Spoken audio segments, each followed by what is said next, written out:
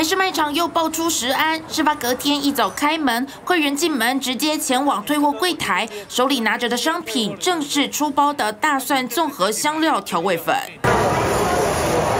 有问题的商品已经流入市面，卖场通知会员退货，一些已经吃下肚，会不会对身体造成影响？暂时还感受不出来。您最近美国进口的感觉都没有在把，就是疏于把关，不是没有在把。会觉得他们那个品质把关怎么会没有做到那么的完善，观感不好。香鸡猪包先是精选甘露综合包，再来是大蒜综合香料调味粉，两项都是美国进口。巧的是验出同一种农药残留，含有微量环氧乙烷。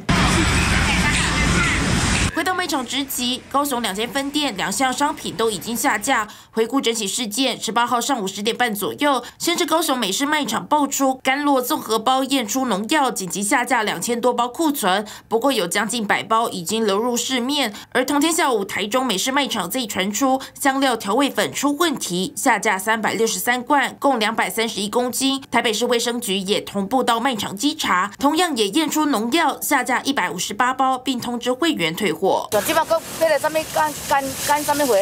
搁出包啊？系啊，这阵常常出包啊。从东美国事件到这次两项进口食品相继验出有农药，北中南都出包，有会员很酸，好事多简直成了坏事多。